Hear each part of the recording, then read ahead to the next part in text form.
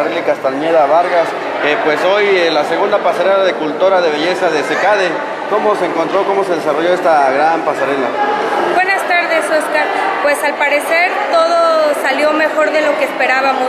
Mis alumnas son unas chicas muy inteligentes y que se han esmerado mucho para lograr su objetivo que es aprender a embellecer a las personas. Pues felicito a mis alumnas, agradezco a Mago por su apoyo, especialmente a la señora Eli y a Martita también, porque sin ellos no hubiera sido posible nuestro evento. Veíamos que también había pues vestidos o trajes, peinados. ¿Qué es lo que nos demostraron hoy en este evento de la pasarela de culturas de belleza de Secade?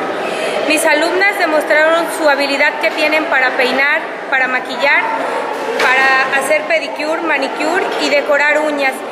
Y sus modelos nos hicieron el favor de prestarnos sus vestuarios y de colaborar con ellas para, para que la pasarela fuera realizada este viernes 8 de junio. ¿Cuántas participantes tuviste en esta pasarela? Tengo 16 alumnas y modelos fueron 24 modelos que, que se presentaron en esta pasarela.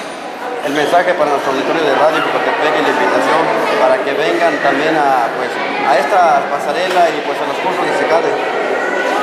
Bueno, pues yo invito al público en general que asistan a SECADE, así como se imparte la carrera que yo doy, que es cultora de belleza, también contamos con la carrera de cómputo y la carrera de gastronomía. Vengan y prepárense para que puedan trabajar y pues tener algo en la vida. Gracias por concedernos tu entrevista.